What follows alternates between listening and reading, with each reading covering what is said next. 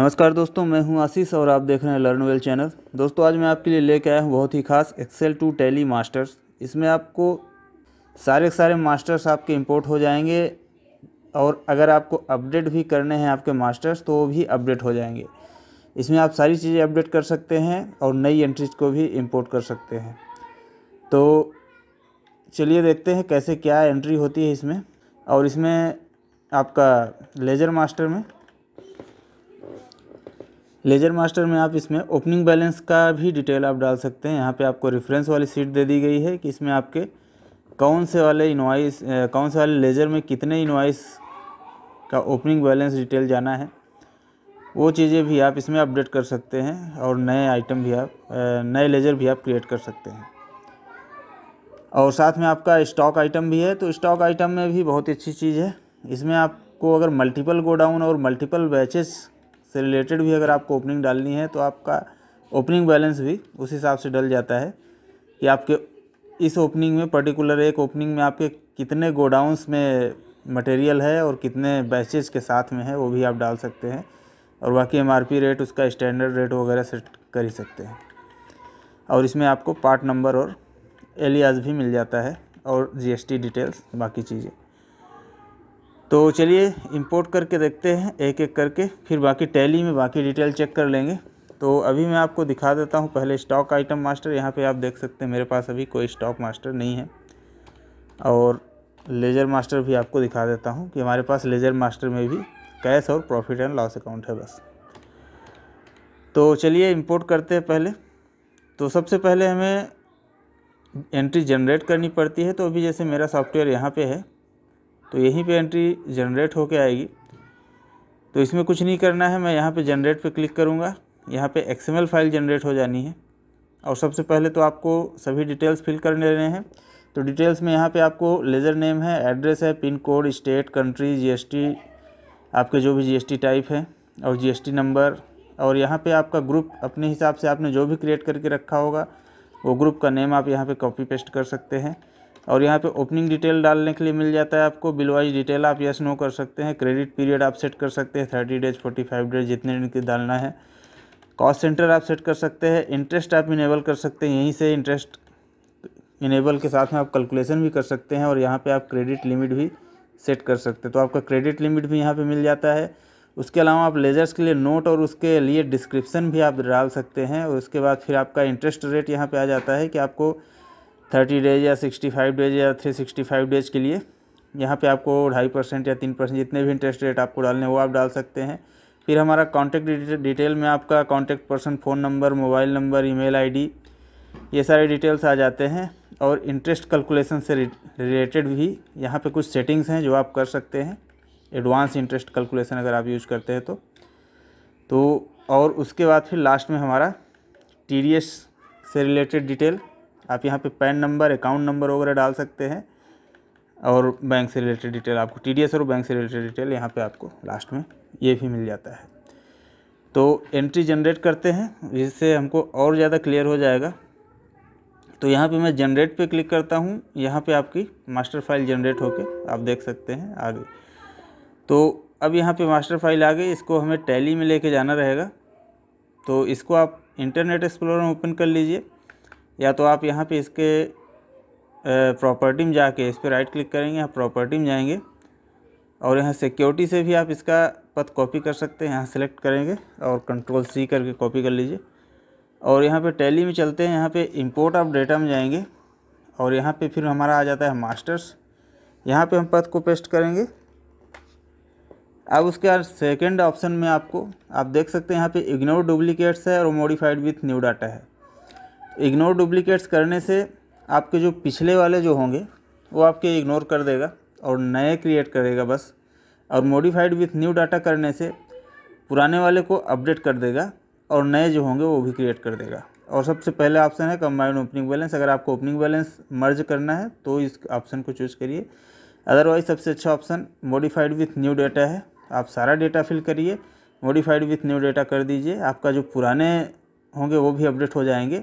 नए के हिसाब से और आपका नया भी क्रिएट हो जाएगा।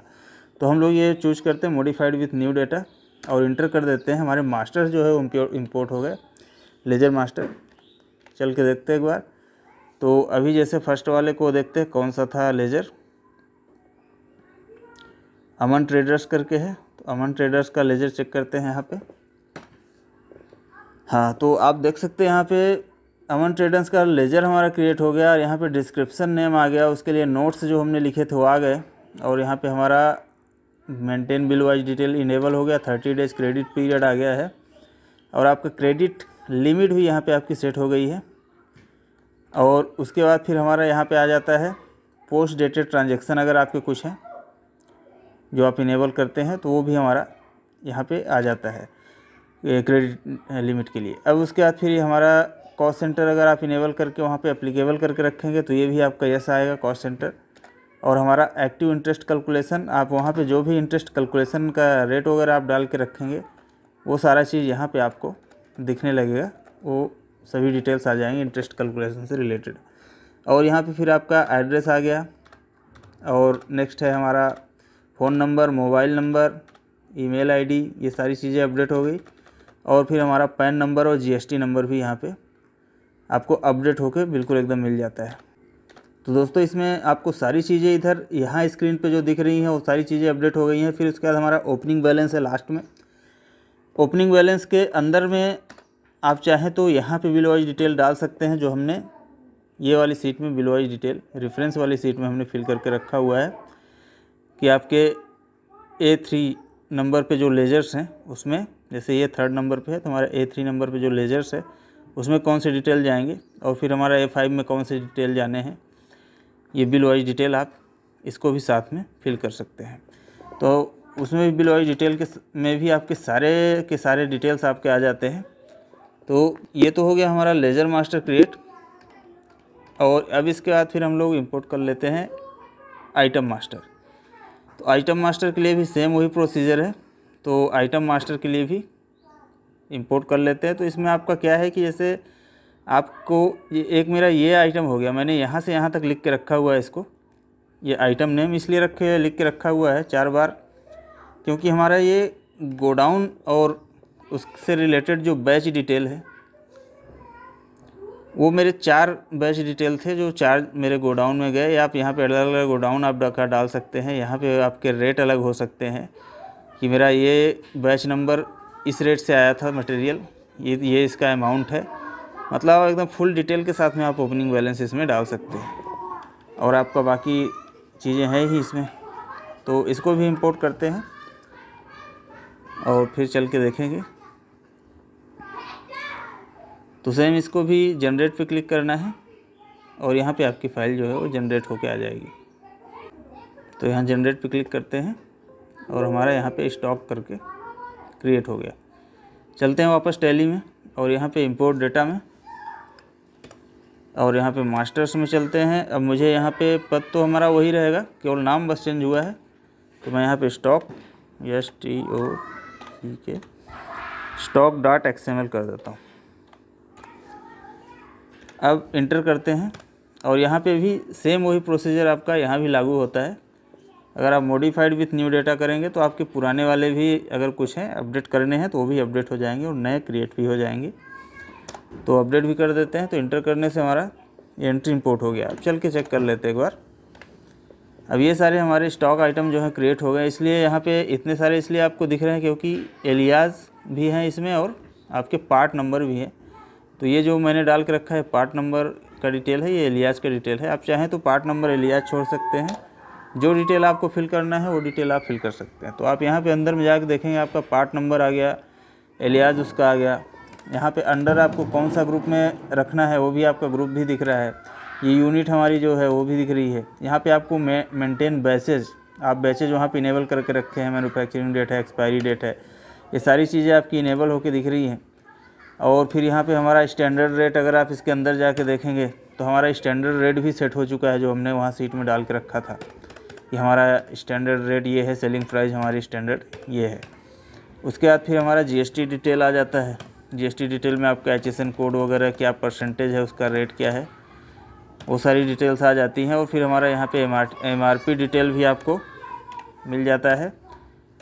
और यहाँ से, यहाँ पे आपका is inclusive duties and taxes ये भी आपका इनेबल्ड हो जाता है और उसके अलावा फिर आपका ओपनिंग आ जाता है लास्ट में। और ओपनिंग में अगर आप अंदर चल के देखेंगे आपके सारे लोकेशंस जो गोडाउंस थे और सारे बैचेज भी आपके यहाँ पे अलग अलग दिख जाते हैं। आप इसमें जो रेट वहाँ पे सीट में फिल करेंगे, वो सारे के सारे उसी हिसाब से आपको दिख जाते हैं। तो दोस्तों, ये इस तरीके से आप का मास्टर्स जो है, वो अगर आपको अपडेट करने हैं तो बिल्कुल आप अपडेट कर सकते हैं। नए मास्टर्स आपको क्रिएट करने हैं तो नए मास्टर्स भी आप क्रिएट कर सकते हैं। बहुत ही बढ़िया फ़ाइल है। मैं इसका लिंक दे रहा हूँ आपको डाउनलोड करने के लिए। बिल्कुल आप डाउनलोड कर सकते हैं। तो मिलते हैं दोस्तों नेक्स्ट वीडियो में तब तक के लिए धन्यवाद।